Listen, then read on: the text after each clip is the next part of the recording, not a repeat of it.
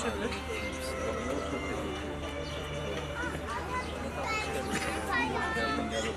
Mehmet Bey hoş geldiniz. Gelecek yani daha gelecek.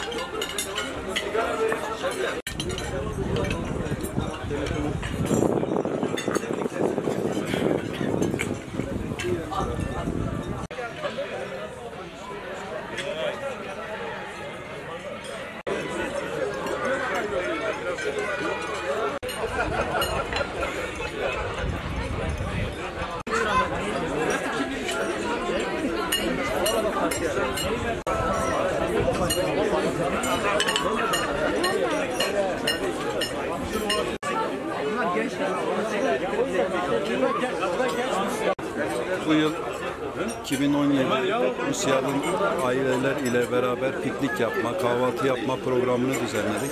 Bütün katılan arkadaşlarımıza teşekkür ediyoruz. Bu pikniğin amacı, kahvaltının amacı hem aileler ile beraber kaynaşmalarını sağlamak, hem üyelerin kaynaşmalarını sağlamak. Ramazan öncesinde yapılan bu etkinliğimizden amaç yine aynı şekilde üyelerimizin bir arada olmasını sağlamak. Sabahleyin bu kahvaltıyı ülkemizdeki e, temel sebep bir arada bir arada bir ve e, beraber olmak. Bunun bir tablosu burada. Onu görüyorsunuz. Nasılsınız? İyisiniz?